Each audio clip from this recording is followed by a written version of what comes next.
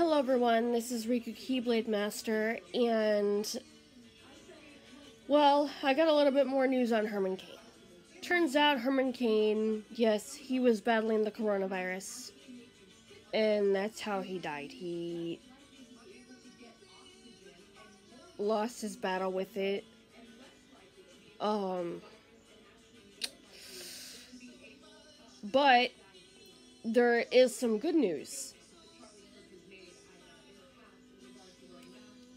According to the top infectious disease expert, Dr. Anthony Fauci, we should have a vaccine by the end of the year, hopefully, considering more and more people are volunteering in the trials, which thank goodness, which I would encourage all of you to do. All of you that aren't scared of needles, that is. Um,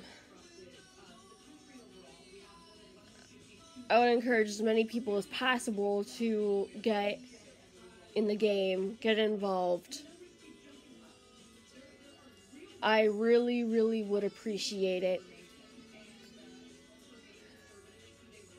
At least you'd be doing something other than aiding and abetting the bullshit that Trump has been going through. A lot of people are still eh, about that fucker. Not gonna lie. Myself too, like he really does. Oh my god. But anyways, I wanted to let you guys know that um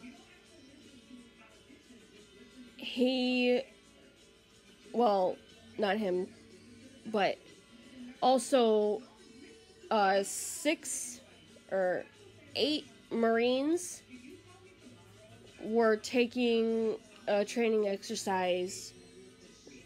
One has died, seven went missing. Something to do with something that goes either on the water or underwater. I, I forget what the machinery is. But,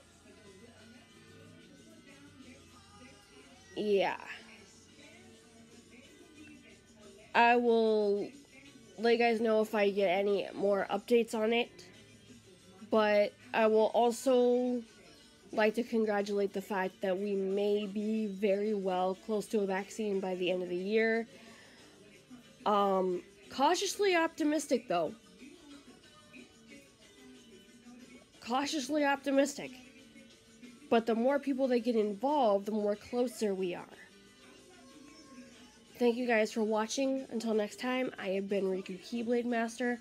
Comment, rate, subscribe to become a Keyblade wielder, and stay awesome as usual. Love you guys.